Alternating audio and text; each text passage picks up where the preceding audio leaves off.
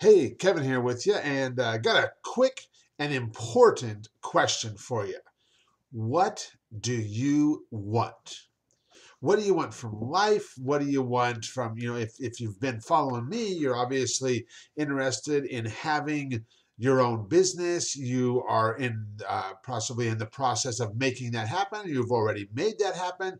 Now you're expanding that business, you're expanding your reach uh, you know you have all kinds of wants and desires. You know you might have you know you you have wants that you uh, you know want to have with family members with relationships in your life with friends in your life uh, other desires that you have things that you want to acquire experiences that you want to have things that you want to do in your life you know maybe a bucket list. Uh, you know you have all these wants and desires and the interesting thing, and this is, I'm just going to, you know, I, I, I really learned a lot of this stuff from one of my own mentors, Dan Sullivan from Strategic Coach.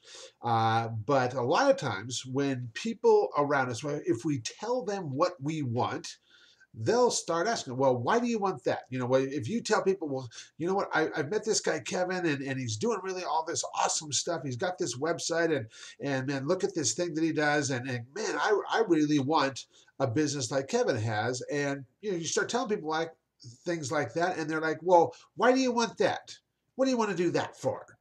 And I, and, and then our knee jerk reaction is to start saying why we want these things, why we want to do this, why we want to have this. And I will tell you that anything that comes out of your mouth at that point is nothing but pure fiction because it doesn't matter. If we just want it, that is the only justification that we need, that we want something. And, and God forbid that we didn't want anything because what do we have to get up for every morning? What do we have to live for? What do we have to look forward to? We want to have desires. We need to have desires. We need to have something to look forward to on a daily basis. And like I said, God forbid that we ever get to the point where we don't want anything. I mean, what, what are you living for? What do you have to look forward to? So keep this in mind. You know, your your wants are your wants. Own them. Be proud of them. You don't have to apologize for them. It is what it is.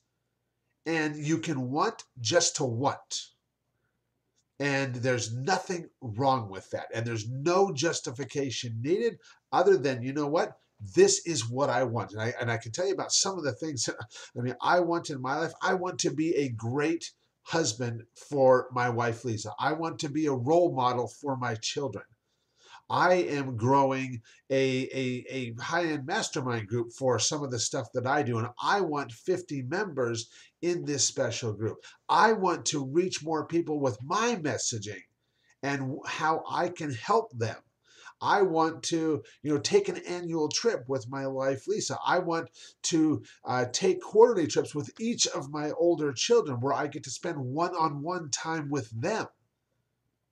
I want to have meaningful relationships in my life. These are some of my wants, and you know what? I want them just because I want them. No more justification needed. So there you go. I hope that helps you because if you're trying to justify your wants to other people, no need to do that. It's okay to just want things because you want things.